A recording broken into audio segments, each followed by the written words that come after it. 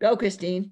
Okay, well, this is great. I always feel very comfortable talking with you guys because we're all together. You know, we're all friends and have met, known each other for a really long time. So thank you um, for inviting me again to kind of go over what's going on in the legislature. And I'm here to answer questions. So if I'm veering in a direction that doesn't interest you and you want me to talk about something else that you think I might have some thoughts on or information about, I'm of course always happy to kind of take your lead in terms of what we are talking about. Um, many of you have, a couple of you, I'm looking at names. A few of you have heard my briefing before, so bear with me.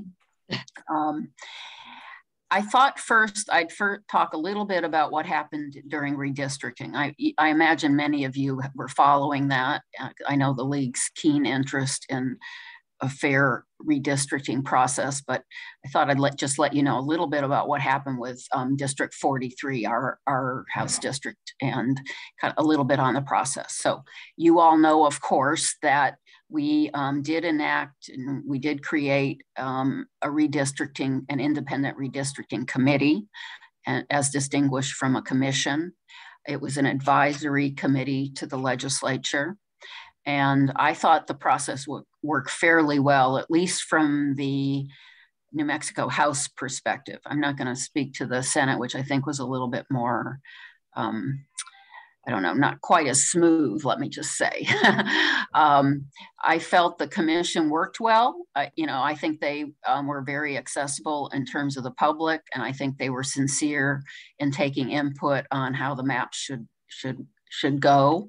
Um, they worked closely and they tried very hard to come to a conclusion with our um, Native American um, citizens. Um, they didn't get there, but we eventually did as a legislature. So um, the House enacted pretty much what was recommended recommended by the, the committee However, um, we had to adjust a little bit because, as I said, the, the native, the tribes hadn't come to kind of a consensus yet. And as a result, the committee didn't have a, a, a strong recommendation as to what to do in terms of the tribes input. And we took the tribes input and I, I think they felt like we listened to their interests and, and we, we adjusted the maps accordingly. Um, House District 43 uh, has become more compact, which you know in a sense is a good thing for me. Uh, if you remember 10 years ago, this area was tagged on to 43 that includes like Cuba and Gallina, that's parts of Rio Arriba and, and that area. And it's kind of, I have this little compact district and then there's this little arm over here. Um, and that piece has has been taken off again. So now I don't have Cuba, I don't have Gallina. I still have some parts of Sandoval County, like the Jemez area, Ponderosa, uh, and so on. And I have a little bit more of Santa Fe County in La Cienega. I used to have only part of La Cienega, and now I have all of La Cienega. As it turns out, uh, Los Alamos has been growing contrary to what I think maybe some people think, we have been growing, and Santa Fe County was growing, as, as it's probably evident to all of you. But the rural parts of the state tend to be contracting. So Susan had uh, picked up some of the district that I didn't need anymore in terms of keeping my numbers up. So Susan, uh, my good friend Susan, got most of what I no longer have. I have more of Santa Fe and the district is more compact. And I would say in terms of, you know, um, policy interests and so on, I think it's more, they're, we're more cohesive in that way in terms, you know, the Santa Fe part of my district is more similar to, to Los Alamos than probably Cuba was. So that's good. The thing that I'm, you know, disappointed about, it, it's useful for me to have input from communities that aren't like us. And so I, am going to be losing a little bit of that in terms of missing Cuba and, and so on. But that's where we ended. I, I imagine most of you are aware because you keep keep yourselves informed as to these kinds of things. So I felt that uh, that was a success. The redistricting was generally a success, at least from the House perspective. And we moved on and, you know, I'm happy with the district as, as I'm working it. Now, um, next thing that so that was done in a special session and then we had our usual session and our regular session and is my screen sh shared is it uh -huh. shared yeah okay um, Okay, I wonder why I can't see it. details, details. It says I'm screen sharing, but I don't see the screen. So It let says me. Legislative Council Service. Service. Oh, okay. Yeah. That is not what I want. I want this. Uh, I have a, you know, a, what I call a highlight sheet where I talk about what I worked on and so on. You see that? No. This one says, shows the seal and it says Christine Chandler, State. Yeah, yes. Okay, Yeah. that's perfect. It says highlights. Now let me see if I can figure out how to scroll it. And I apologize, guys. Um, We did For practice, this. but it wasn't. uh, okay, so here we are. Um, Yay, did it. Yes, and I, I, I, I do this every year at the end of the session. I put together a document that helps me and the folks that I'm um, briefing, you know, remember what happened. So I felt we had a, a pretty strong and successful um, session this year. It was um, a 30 day, as you all know. Um, there were, you know, some order of, you know, 500 bills more or less filed in both the House and the Senate. 64 of those bills passed. Um, we are in a very strong position um, financially, um, largely due to a, a, a great influx of money from our oil industry. Um, so, in a way, it's a blessing and it's a curse. We, of course, need to be finding ways to move away from reliance on oil, but that's a tough, that's a tough, uh, that's very hard to do. Um, that's one of the, I think, uh, responsibilities of the tax committee, but other, other, there are other responsible committees as well. We should be looking for diversifying our economy and, you know, other means to um, raise funds to replace our strong reliance on oil and gas. Um, I think right now, the price of oil's a hundred, I think today it was hundred and thirteen dollars a barrel.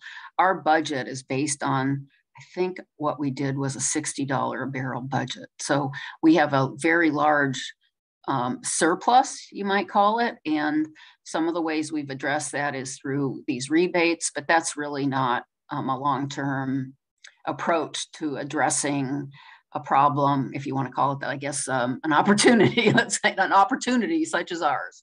Um, but we did um, use the monies that we do have in ways that I, I think most people in the state are happy with. We increased wages for state employees. We budgeted a $15 an hour minimum for state employees.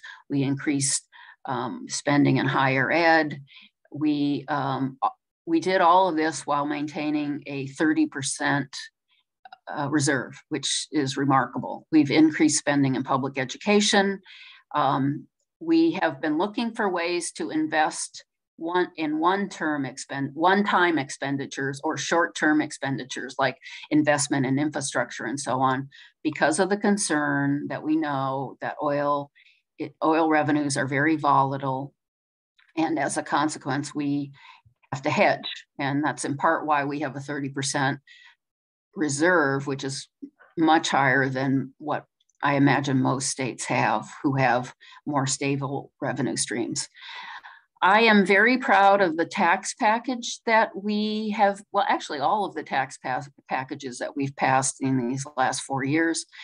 Do I agree with all parts of them? No, but in general, I think we're moving in the right direction tax wise in that we are finding ways to increase the progressivity of our tax system. And I expect we'll be doing more of that in the in the next couple of years. Uh, so the tax package had multiple facets to it. There's a Social Security tax exemption. We exempt in some small part of military pensions we um, it, we expanded the solar market tax credit. We the the one item that I'm most proud of is the child income tax credit. That gives an income tax credit to everyone with children in the state. There is an income component to it in that the rebate, the tax credit is higher those with in lower income. So it's I guess you might call it inverse progressive or you know lower income people get a higher um, tax credit than high income people. Um, and as I'm sure you all know, we also had a um, tax uh, rebate program that's going to happen in July. And I'll talk a little bit about the, the rebate package that's just about to be implemented in the next few days, actually. Um, we, so this is about a $500 million package in terms of tax relief for New Mexicans. We invested in education again. I'm very pleased that we're now um, beginning to increase educator salaries to a, a, level that you know is is um, in line with what other states pay. Can we do more? I hope so. I think we're moving in the right direction in terms of educator salaries. We're focusing on the Opportunity Scholarship as well. That was an initiative that the governor and we, um, because of the revenues that we have available to us, we invested more money in the lottery scholarship, which has been a bit of a, a concern to us because the monies have been drawing down. So we reinvested in that. So it's fully funded now for at least five years. There was public safety legislation, which I'm just going to touch on lightly. Um, I was concerned during the session that we were moving away from what I view as sound policy in terms of how we um, manage the criminal justice system. There were a number of bills that were filed that were focused on kind of law and order, lock them up. Um, many of you were hearing um, probably discussions about changing the presumption so that an individual would have to prove they're not a threat as opposed to the other way around. That we were able to kill that bill uh, um, and some other, and we were able to, I guess I would say, modify other proposals that I think were more in line with sort of progressive, forward thinking criminal justice um, type legislation. I know a lot of you, because I know my constituents and we talk a lot about this, we finally, finally were able to address the though you some people call it payday lending some people call it small loans but nevertheless um, the installment loan cap we were finally able to bring down to 36% from 175 um, that was um, a strong initiative that my good friend susan herrera pushed pushed on and um, with and the speaker was very involved in trying to ensure that we were able to do that it's amazing to me that um, of all the issues, the lobbyists come out incredibly strong on that issue. And it's it's just kind of of all the things that you would think that they would put their energies in, that was one they they spend a lot of time working on. And it took a lot of effort, frankly, be able to get it through the House. And the Senate was stronger than the House, truthfully. But we were able to finally get it through the House with Susan's strong push and the Speaker's support eh, um, in terms of committee assignments and how know, he he chose to shepherd it through the committee process. So we were we were fortunate in that way. And at the very end here, you'll see kind of the list of, of bills that I sponsored or co-sponsored. As I, I think you you all know, I'm now the chair of the tax committee, which means a lot of my bills going forward will be focused on tax legislation and I have a responsibility in that position to, to to shepherd that whatever tax package we put together. And um, it's been interesting um, and I'm learning a lot. The other bill that I'm very, um, I want, want to really highlight for you because I think um, the league can be helpful to me and to us, the community, the state, is um, House Joint Resolution 1 which creates uh, an exemption to the anti-donation clause so that the state can invest directly in what we're calling essential household services. So if you're a low in, let me give you an example what I'm interested in using this for. If you're a low income person, sometimes you can't afford the hookup to your Comcast, to Comcast or CenturyLink, you know, the, the, the fiber may be in the road that's near your house, but you have to pay for the connection. And this bill would allow the state to create programs that would support that kind of thing, where that where we could invest directly and not run afoul of the anti-donation clause. Um, and this has come up when we were talking about how can we expand broadband. We also included other essential services such as electricity and water and sewer because we are a poor state. And as a result, there are still people who do not have um, strong access, you know, access to um, reliable wastewater services. They may have a, a, septic system that's probably failing or could be failing. This will allow us to have the state to have more flexibility in, in terms of addressing the needs of citizens when it comes to essential services. So I'm very excited about that bill It is a joint resolution, which means, of course, it will be on the ballot this coming cycle in November. And whatever we can do to get the word out in support of that um, constitutional amendment would be um, much appreciated. So, with that, I'm going to stop my share so I can look at you. It's really hard when I can't see people's faces.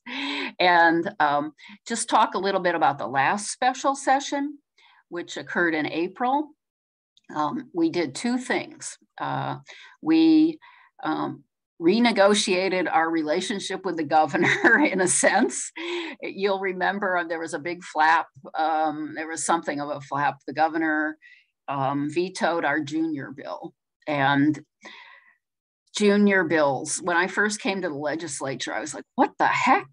what the heck is this junior bill thing? You know, I was like, I could, it's really a supplemental budget. So, you know, House Bill 2 is our budget bill. You all know that, of course. And after the budget bill is enacted, um, we often have revenues that are still available to us for whatever reason because the budget is dra- you know created in December and January. And so then there's, then we do some kind of, you know, additional spending if we have uh, sufficient monies. And so the junior bill was passed. We had a junior, we had enough money as is evident by the huge increase in revenues that we have.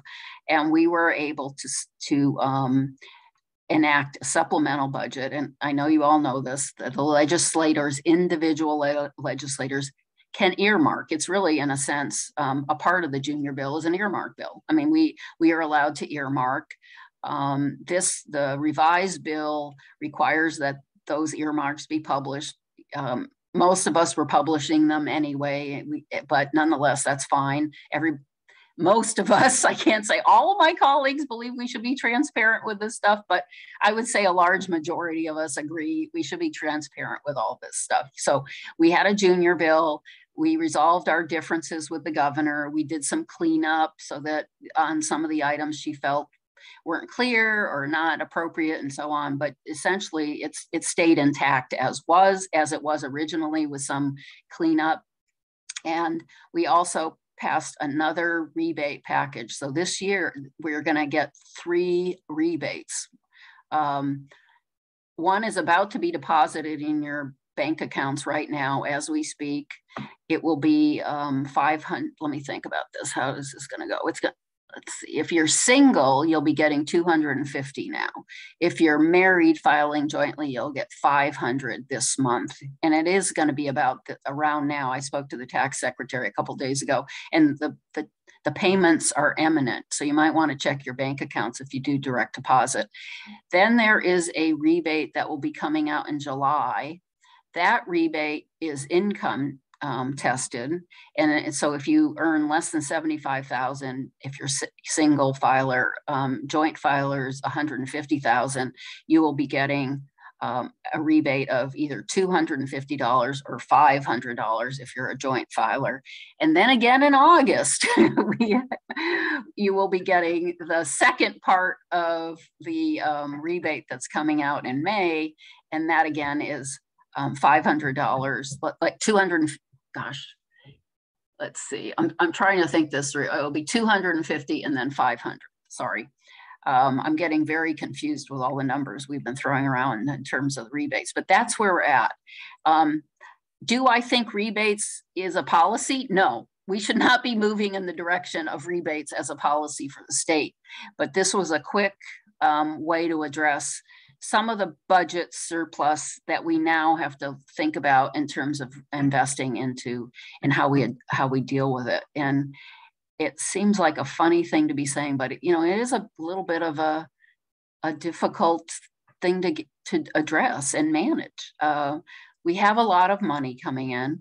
We know not all of it is is recurring, so we're reluctant to invest too heavily in recurring. At least, I, let me put it this way: some of us, meaning me and my some of my colleagues, are reluctant to put invest too much of it in recurring expenses and some of us, and that's meaning me and some of my colleagues, are reluctant to look too um, too much. God, I have a, a, drill going on. Too much at um, tax relief. There is going to be a push, I believe, and some from some of my colleagues for discussions of lowering things like the income tax, um, and other tax relief mechanisms. And the reason I'm reluctant is because we know the oil and gas industry is a is not going to last. That boom is not going to last forever. And then we'll be in a position of having lowered taxes and putting the next, you know, group of legislators in four years or five years from now to have to raise taxes. And I can tell you right now, it is not easy to raise taxes once they've been lowered. We're still suffering from tax cuts that Bill Richardson pushed through in 20, what is it, 2004, 2005. So um, I, I'm work, you know, some of us are going to be working over the summer and hopefully we'll have some thoughts on how to address diversifying our revenue streams. This tax conference I came to had some ideas and and we'll be pursuing that. But it's a tricky situation, as you can see where we're at. And I, I don't know how we're going to, what the bottom line is going to be when we finally, you know, come to conclusion with this. But it's, it sounds like a funny problem to have to have almost like too much money, but it, it really is a difficult problem at this point. Um, so with that, I would love to hear from you guys and have a conversation. And I saw a note, I think from Lynn, um, saying, why not put it in infrastructure? We are. but you can only spend so much on infrastructure at one time. Um, every state in the country has ARPA money and other kinds of funds coming in from the feds. Every a lot of states also have budget surpluses for a variety of reasons, and as a result, they're all investing in infrastructure, which is a very good uh, thing to do, of course but you need contractors that you can hire to do the work um, to support infrastructure, and they're all being hired across the country. So um, yes, we are going to, you know, invest in infrastructure, but it's even spending on infrastructure is tricky in terms of our ability to do so in a prompt way. And um, Nancy wanted to know how many voters are in our district and what's the average size of a district? Oh, okay. So my district is about 29,500 and that with some change, you know, it's sort of in that neck of the woods. Um, the average size now is about 30,000, 31,000. So hmm. um, mine is on the smaller side, but I fall within the, the plus or minus 10% parameter that's been set in terms of what is considered, you know, a, a you know, appropriate size for all the districts. I have a question. So all this money that we have and all this mm-hmm. unemployment that we have, is it possible? And mind you, I have I do not know the answer to this question. That's why yeah. I'm asking it. Um, so all these people who are unemployed or underemployed or whatever word you want to use, how is it possible to get them or to a job opportunities place where they will train people how to do this infrastructure stuff and you know all these oh. things that we need jobs for but no one we can't find anybody. I mean you can't even find anybody do anything period right now but you know i mean like they don't know how and i don't think they know that they that they could possibly learn how to do that. And, and i know that some of the uh, the community colleges are doing that with high school kids but i'm really thinking not only that that's still good but there are people who are unemployed and there's thousands of jobs out there and i'm having a disconnect as to well um, so I, I think there are two kind of concepts in your question carol ann so let's talk of one is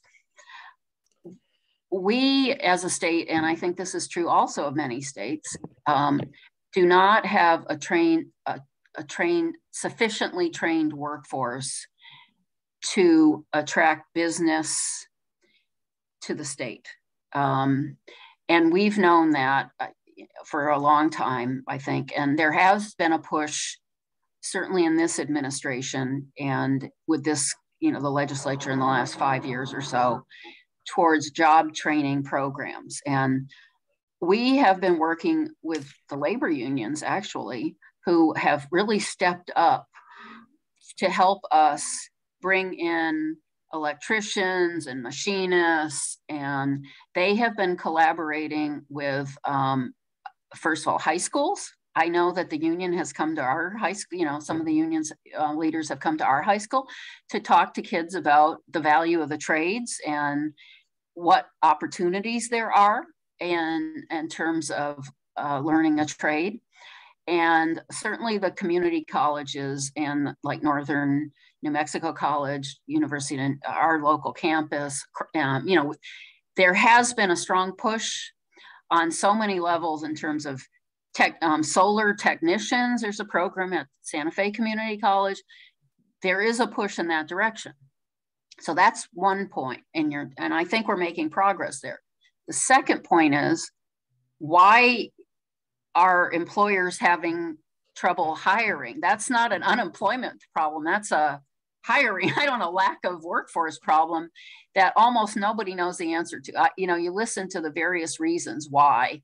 One has to do with the fact that people um, re- started to reevaluate their lives during the pandemic, and as a result, are valuing different things in different ways. Um, the other has to do with the fact we need to get um, our our child care programs up and running in a, in a way that's more user friendly for people who want to go back to work, but um, need to be able to find support for in terms of childcare. That's that's a reality, and we need to do better with that. I know that the governor has been investing in programs along those lines, recognizing that. So there are two issues.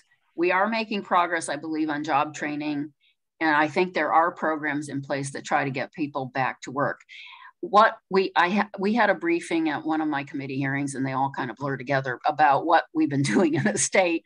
We're doing okay in the state in terms of rehiring professionals. And first of all, professionals weren't as impacted by the pandemic because many of them could work from home.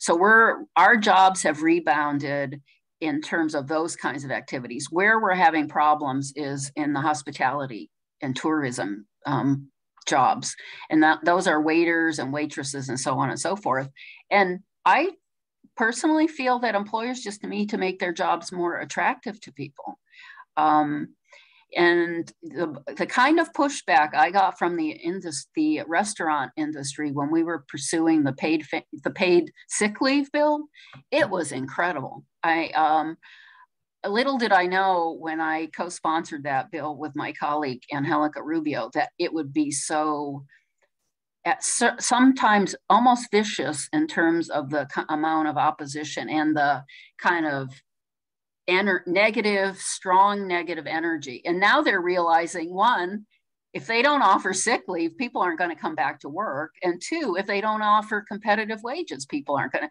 They're now having, I would, you know, I, sh- I guess I shouldn't say I was laughing, but I was sort of, I was like, they're paying $15 an hour now. And, and they would come to hearings when we would talk about minimum wage increase, which is something we did accomplish in these last four years or so. Remember, we increased the state's minimum wage. It's, it's like the world was going to come to an end and there would be no way they could ever survive. And here we are, they're doing it voluntarily, $15 an hour. You know, so um, I just feel that American businesses, unlike European businesses and many other countries that are similar to us in terms of our you know quality of life level of industry and so on has a very narrow view about their relationship to their workers. And instead of viewing the, it as a kind of a team effort, I actually heard a legislator referred to a worker as um, like an oh, an input you know like kind of like buying paper towels or something you know it's just another input into their you know their business. And I, I i, remember thinking i've got to find that on tape the next time that person runs because it was really a kind of a dehumanizing way to talk about people who are really part of your business so on the one hand, businesses would come and say, oh, these folks are part of our family and we've known them forever. And then I'd say, well, great, pay them $15 an hour. They're part of your family. And that was like, oh my God, the world is going to come to an end. But um, it, it, the pandemic, and I know in a way I'm speaking in a cliche because I know we, we've all heard this in the news and so on. It has caused people to rethink, and it is juggering our economy in a way that may in the end be beneficial. It, it feels kind of strange right now. And I have to say, I do, I, a lot of us are probably very uneasy about, you know, the shortages and it leaves us with this very unsettled feeling. But it may be an opportunity for us to rethink how we do business and how employers and businesses interact. And I'd like to think that's going to be an ultimately a positive thing. Sorry if I'm so long-winded. And I see there are some questions. Um, okay. I, yeah. I have a couple questions. Sure. Oh, hi, yeah. Nancy. Hi. Uh, thank you for answering about the number of voters you have. Um, one has to do with the gross receipts tax, and the other has to do with the higher ed scholarships. Mm -hmm. the, the, as of uh, the 1st of July, the gross receipts now is applied to where uh, a product is sold, not where, I mean, where it's delivered. It's called uh, destination that, sourcing. That creates tremendous bookkeeping problems. As a publisher of books and a seller of books online and from the from your trunk when you run into somebody who wants to buy a book, the cookbooks that we've sold. It's just a, why do you have a, an answer for why that was changed? Uh, uh, absolutely. Um, because if we want to benefit from internet sales, which we um, did want to benefit from, like, for example, Amazon, um, and we wanted uh, the area where the item is sold to receive the benefit of that particular GRT, like Los Alamos County residents are avid users of Amazon and Barnes and Noble and all of those other mail order places. We were losing a lot of revenues in, in terms of um, the change in way people do business. There are very, we're not doing brick and mortar anymore we're doing a lot of online and we have to track it by where it's delivered. That's why it was changed. Could you exempt a New, New Mexico purchaser in the state? Because like Santa Fe has what, eight or nine different uh, areas for the gross receipts tax that change. So we sell a book, we to someone in Santa Fe, we have to be sure we have their zip code and then they have one um, gross receipts rate and somebody else with a different address in Santa Fe. That's a different one. I'm just, it's a bookkeeping nightmare. So um, maybe I'll talk to you about this later. Well, actually, the tax department is working on um, on software, and in fact, it should have been implemented by now. That you just plug in the the zip code, and it will tell you what the GRT is. Um, and actually, there's the city of Santa Fe, and then there's the county, all counties have the same tax rate. If you're in Los Alamos County, it doesn't matter where you live. It's going to be the Los Alamos County tax rate. Doesn't matter. That's correct. It's, but there are other other uh, entities where it is a problem. Um, mm-hmm. Thank you. The other yeah, sure. the other question I have is before when you spoke to the MOW W uh, group, you said that the scholarship, the free scholarship to go back to UNM and other high institutions uh, was for not only undergrads, but also graduates. But I think, I think you mentioned today this were on for undergrads. Well, Nancy, Myra, I don't believe I said it was for graduates. You mean like master's degrees and Yeah, like master's Oh. degree or, Yeah. or, uh, or is it stop at the end of the four-year It- um, undergraduate? I believe, and I'm sorry if I said that at, at the that you know the military order of foreign wars or I can't remember Right. the exact yeah. Yeah, MOW. I don't remember saying that. What I said was it's for four-year associates and like certificates. And so it would include things like trade programs and that kind of thing. Yeah. And, and Um, it didn't matter how long you were away from school. So for example, the lottery scholarship has these parameters that you have to fulfill. So if you were, um, you know, you wanted to work for five years or whatever, or you you were raising your family and you didn't complete your college degree or your associate's degree, you can still qualify, unlike the lottery scholarship, which requires pretty prompt enrollment into school. So if I misspoke, I, I apologize, Nancy, but it is for, it's not just for four years degree, which is what I was trying to emphasize there. It's for people who are getting associate's degrees and um, job training certificates and so on and so forth. Okay, thank you for clarifying that. Sure. So I won't go back and get my PhD then.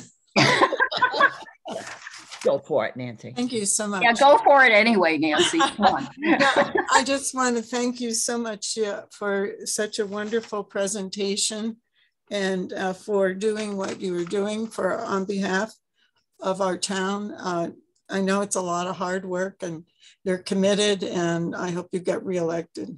Thank, thank you. Well, I'm unopposed, so I'm gonna have to really mess up if I don't get reelected this round. I didn't realize that. No flaming affairs, Christine. Okay. So let me read. Uh, Kyle had this question. I'm, I'm going to read it off the chat. Are people talking about the gas tax? I am opposed to lowering it for lots of reasons, but I can understand the pressure on elected officials to do it. Ah, um, actually, no, we're not talking about lowering the gas tax. What we did was instead of that, we did these rebates. So the gas prices were increasing um, significantly even in April, and they're even getting worse actually. But um, we looked at lower, the gas tax is 70, 17 cents a gallon, okay? If we, let's say, suspended that, which was something people were talking about initially, the amount of money people would save, we did the calculation, is not that much. Our rebates, the rebates we're putting out are, are, are, are, are is a larger amount than what people would save if we just suspended the gas tax. The other thing is parts of the gas tax are pledged, like to support bonds and so on and so forth. There are increments of the gas tax that are I guess you could say earmarked or whatever, and that would have created a huge complication for us. So highly unlikely we'll be going after suspending the gas tax or lowering the gas tax or anything like that. And I'm, I think Barbara's got her hand up. I don't know. Okay, you want to go, Barbara? And then I'll just, and then actually Jesse, where's, is Jesse still here somewhere? I just thought, is Jesse here? So Okay. Chris, I'd like to know if you'll support the joint resolution for an independent redistricting commission when it comes to the legislature again. Maybe we'll see what it looks like, Barbara. Well, I'm really, go ahead. So there was one during this last session. Did, I, I know that they're still tinkering with it, but if you'd let us know what your requirements are, that would. be- Okay. Thanks. Sure. Jesse, do you want to just say yours? Uh, Because it's just, it sort of Oh, has. yeah, my, I guess it was Oh, just hi. sort of comments like, uh, people want more than seven dollars an hour to live on, miss so minimum wage. And you talked about that, that people are now doing it themselves, which I think is a good thing. Uh, many of the benefits in jobs. Now I'm a nurse, so uh, I've had fairly good benefits, but other uh, workers don't. Parents should be off with their newborn. Yep. You know, whatever, you know, that is something that would ease up problems in 20 years if you're nurturing and nursing your baby. I, uh, I agree 100%. Paid family and medical leave. I have, that was one of the first big bills I sponsored a few years ago.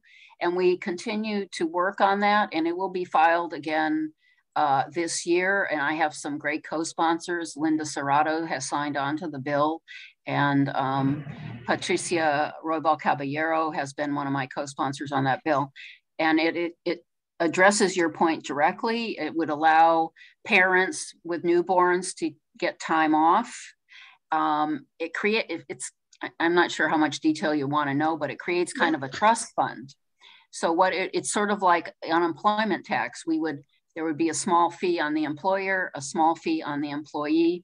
It goes into a trust fund, and people who are eligible, and the eligibilities are quite broad. You know, certainly people with newborns and adoptive children, uh, needing to care for a close relative, a parent, a spouse, children, you know, those kinds of things. And if you qualified, you would apply to the state. And the employer would have to give you the time off, and you would be you would get up to two thirds of your salary. You know, it's sort of like a disability program in a way. Some states have disability programs that are like this. So you get two thirds of your salary up to, I think, $60,000, you know, for that period of time that you were away. So, and it's up to 12 weeks. Um, and that's that's the kind of the overarching framework for that program. We will be filing that bill again, so keep an eye on it. You guys want to lobby for it? Go for it because it's, right. it's, a great bill, and um, I believe it's going to happen one of these days. And we just need to keep, you know, how many of you follow the legislation. Sometimes it takes a few sessions to get it through, and it is controversial. The business community doesn't like it. Um, so we're it's going to be one of those fights, but it, we will continue to bring that bill and fight for it until we achieve um, you know that for the state. I and I think it will make it a very desirable place for employers to come because they won't be paid. You know, there's a small fee. You know, you're spreading out the cost of the program amongst everyone, which will lower the cost for you know employers who want to offer a program like this. And so I would think some of these things make it a desirable place for us. Uh, we know that parents need to bond with their children, and that creates a healthier child, you know, as they progress in life. And that will cause us, I hope, to lower our, you know, our substance abuse problems, our um, our mental health problems that we have in the state. And that's a good thing. People who are stressing about what's happening with their husband because he's getting his chemo today and I can't be there because I have to do thus and such, you know, I have to be at work.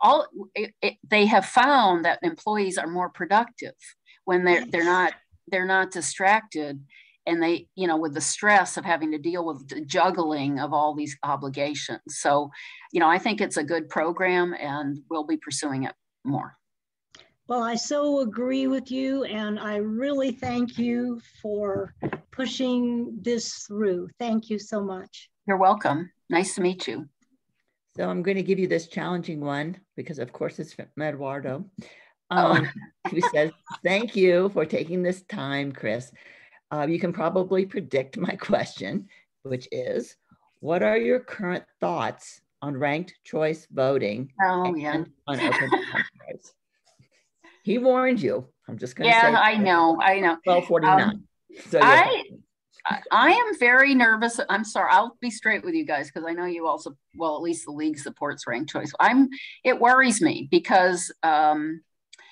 I feel that there's an attack on our voting system right now where people are have are losing confidence or the powers that be or the forces of evil out there are attacking it in such a way that people don't have confidence in the outcomes. So one of my concerns with ranked choice voting is it's even more it's more complicated in terms of explaining to people how the system works. And it, I think it has the potential for undermining confidence in the outcomes. Sorry, guys, I know you don't agree with me, but um, I'm being straight with you. Um, I think it's going to be hard to get through the House or, and Senate. Um, because of these kinds of issues. Can I just break in to say Sure. that? so the the state board had had added ranked choice voting to our position on elections, and at the convention it was uh, we lo- it was removed. Really? For the Yeah. same reason that I articulated? I think so. Yes. Yeah. Um, you know, people know who's, I like things like runoffs, you know, same day runoff or even a week later kind of. I do think it's good to have that someone should be required to have more than 50% of the vote to win an election. And so uh, things like runoffs and that those sorts of mechanisms, I think, i you know, I think is a good approach as well. But I- I, I just worry that it's just that people won't have confidence in the outcome. And I'm really worried about where we're going as a country, just generally, um, uh, you know, in terms of confidence in our elections. And it's really depressing. Um, some of the stuff that's going on election wise and other things, really. So regarding voting, um, I don't remember the guy from Farmington. Um, I don't remember who Um, kind of squashed and did the the filibuster thing on, on voting. Oh, yeah, that's Senator Sharer. Yeah. So, yeah. Yeah. Um, say his name I remember, but you know, I think it's um, it's kind of interesting, and I've not talked to Maggie, but no one seems to be worried about states who have all mail-in ballots, um, and yet they're worried about a few mail-in ballots. And I did mail mine in, by the way, but um, or I put in the Dropbox. I don't know if that's called mail-in. Anyway, um, I don't know what we need to do to make things easier. Um, and I will say that one of our members, um, you know, she's 89, and I guess she probably won't be any younger in in like November, and she Mhm. probably be walking any better uh, or driving. Yeah. So I just took her absentee ballot, the, the paper ones, um, because she didn't have a computer, and um, and she told, I just said, you know what, fill out both of these, and I took them in. Um, I had them, well, Andrea take them into the clerk and just say, well, now you have one for now and one for um, the next election in November. Um, and I'm thinking, like, what is the problem with this that we have to keep doing that for people? I don't know. It's just, it's Well, um, you know, I'm sure that there'll be proposals to try to increase access, which, you know, of course, I completely support. Uh, um, and I've been very pleased, you know, Maggie, our Secretary of State, does her best in terms of it. And we should, we have really a lot to be proud of, frankly, in terms of trying to increase access, drop boxes, you know, it's, it, you know, our, uh, you know, our absentee voting process or, you know, um, I, I just, I think we do have a lot to be proud of. I'm sure there's ways to improve. And of, of course, you know, to the extent I can help in that regard, I will do so. It's really super important. Thank you. I'm going to read this, probably this last one because Chris has to leave in two minutes. So this is from Jody. Then, and I don't think this maybe sounds right, Jody, but you can correct me. I'm reading what you wrote. The nursing home situation dire, especially with hiring their own permanent staff. Nursing homes are paying $110 an hour for agency nurses because they Oh, can't get yeah. employees, even though at least Sombrillo um, offers training, health insurance, vacation, and sick leave. Nursing homes can't rate increase their way out of this. Despite the NM healthcare surcharge, an act that goes to better wages, we can't pay enough. The bed tax is supposed to be helping us cover expenses, but prices are going to going up way higher than this very liberal increase. Two questions. One, is there anything the state can do to control prices of contract agency staffing? And two, because there's no limit to lawsuit awards, is there any way to limit the current huge settlements against nursing homes? Okay. And you have Um, one minute. thank, well, I'll try to, t- I may take two minutes. Um, so, um, I- you know, that's a really good question. You know, thank you for bringing the, uh, the thing about those, you know, those contract service. That is an issue. And I, you know, I don't know the answer to that, but I will look into it, Jody. And thanks for bringing that to my attention. Um, on the, um, malpractice issue, um, glad you brought that up because I've been hearing about it. Um, first of all, so there is, um, the nursing homes are not part of our patient compensation fund. And I know that there has been an interest in joining the fund. Um, and, and I'm sorry if I'm getting into the hyper technical. The fund, if you're a member of the fund, there are caps on the limits of, there, there's a cap on the liability that can be um, levied, I guess you'd say, against the provider. Um, there has been discussion about adding um, nursing homes. There has been a reluctance in part because the fund is underfunded and nursing homes could easily aggravate that um, situation. So it's a difficult problem and I'd be happy to work with the industry, but I will say this too, Jody. Although we have a good system here, Sombrillo and Aspen Ridge are high quality providers, I think. People get abused in nursing homes. they do. And I think the industry has to come to terms with that and also police themselves and provide mechanisms for dealing with nursing homes that hurt people because they do. And we've all heard horror stories about people who have been left unattended for hours, who haven't been bathed, who have who receive poor treatment, who have been abused. And to, to place all of it on the state or trial lawyers or litigators, I think is unfair. And we can talk some more about it. But I want people to be aware that there's a reason why some of those judgments are issued. And it's because someone was really hurt badly, like our grandmother. And they the, that is not a good thing. I, I think we all know that. And there has to be a deterrent for that kind of behavior. And at the moment, the deterrent is has is litigation and high judgments. There are nursing homes in the state who who do a horrible job and have found to have abused patients, and none of us want that. So I, I'm happy to talk with you more offline, but the industry needs to be part of this a discussion about how they're going to regulate themselves. Because right now the way they're being regulated is through litigation and that is not an ideal uh, approach to this kind of activity. Sorry jody. You you you you're on a board of a nice group with a nice group of people but there are bad actors in the nursing home industry. Uh, jesse raised your hand. I don't see where you are, Yeah. but okay. Oh, yeah, I would just like to talk with Christine at uh, offline. I just finished teaching two and a half years, well, three years CNA class. These students went to nursing homes. Mhm. I actually worked in a nursing home, the one of the best in Santa Fe for six months. That was all I could take.